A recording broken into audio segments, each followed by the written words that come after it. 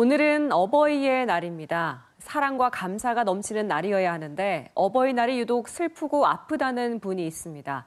가슴에 카네이션 대신 먼저 간 자식에 대한 그리움 덩어리를 달고 사는 91살 어머니의 사연을 보도기획 K에서 만나봤습니다.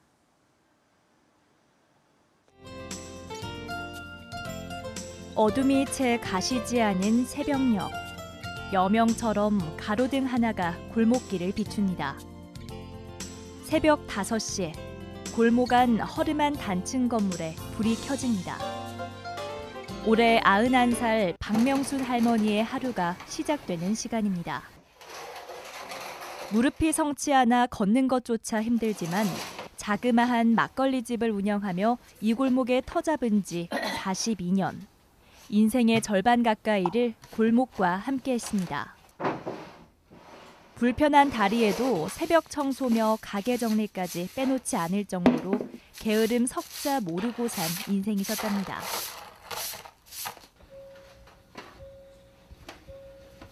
술값만 받고 20여 가지 안주는 공짜. 가게 문턱 넘는 발길이 예전 같지 않아도 42년째 한결같이 상을 차립니다. 호사와는 거리가 먼 격한 세월을 고스란히 달고 있는 오래된 막걸리집. 가게도 주인장도 나이가 들었습니다. 번잡하지도 않고 그저 수수하기만 한 동네 안길과 닮아 있는 박명순 할머니. 그러나 평생 잊히지 않는 아픈 사연 하나가 가슴에 박혀 있습니다. 사정이 있었어. 아들 둘에 딸 하나 키웠는데 딸이 저 충주 의료원에 수간호사였었어. 간호과장이고. 그랬는데 암으로 죽었어. 삼남매 중 막내였던 딸. 대학병원 수간호사로 일하다가 유방암 판정을 받고 8년 전 44세 나이로 세상을 떠났습니다. 집에 가서 혼자 어두컴히 앉아서 해전 울고 짜고 앉았더니 사람들하고 대화하고 그렇게 지나가려고 이거 하지 내가 돈 벌자고 하는 거 아니야. 그래서 가서 심심한데 혼자 울고 짜고 앉았으면 뭐. 야속한 상처를 잊기 위해 91살의 나이에도 가게 문을 열어 놓는다는 할머니.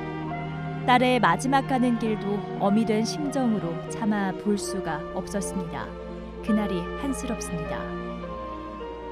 나 저기 병원에 가보라고 그러는데 마지막이라 가보라 그러는데 안 갔어.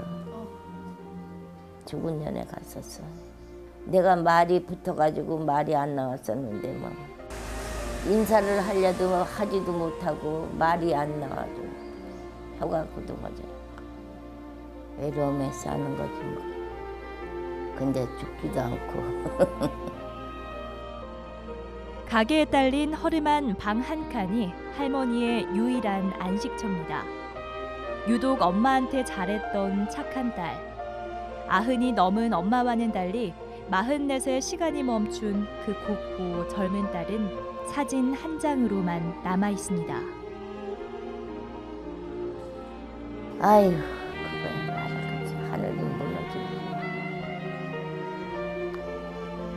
진짜 겪어보지 않은 사람은 그런 건 모르지. 우리 딸은 집안에 없어서는 안 될 그런 딸이었어, 진짜로. 모진 세월 위로와 자랑이었던 듬직한 딸이었습니다. 잘하지, 잘하지. 우리 공부도 잘했고 속색인 게 없어. 기억나는 건뭐 진짜 시집 가가지고도 신랑도 착하고 그래가지고 같이 우리 친정비 다 갚아주고도 10원 한 장 쓰지 않고 우리 빚 갚자 그래가지고 똘똘 뭉쳐서 빚 갚은 거지 진짜 남의 식당 밥 얻어먹어가면서 빚 갚은 19살의 시집와 20살의 처대를 낳았고 애처가 남편 덕에 고생 모르고 살았습니다. 그러나 남편은 48살의 나이로 세상을 떠났습니다. 그 헛헛하고 버거운 세월을 견딜 수 있었던 건 바로 딸 때문이었습니다. 못 잊고 살아도 어떻게 할 수 없지. 그냥 눈물로 세월을 보내는 건데. 해마다 어버이날이 되면 유독 가슴이 아려온다는 박명순 할머니. 음료 한 병으로 인생의 채기를 달래봅니다.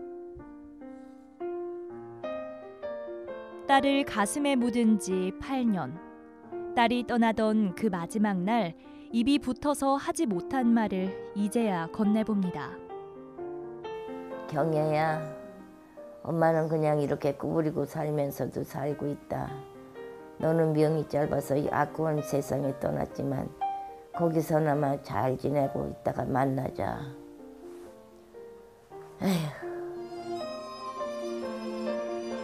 빛바랜 포장지처럼 잊혀가는 오래된 뒷골목엔 오늘도 먼저 보낸 자식을 잊지 못한 절절한 어머니의 시간이 한스럽게 흐르고 있습니다. 부디 오늘 하루만이라도 딸과의 소중했던 추억으로 행복하길 바라면서 세상의 모든 부모님께 감사드립니다.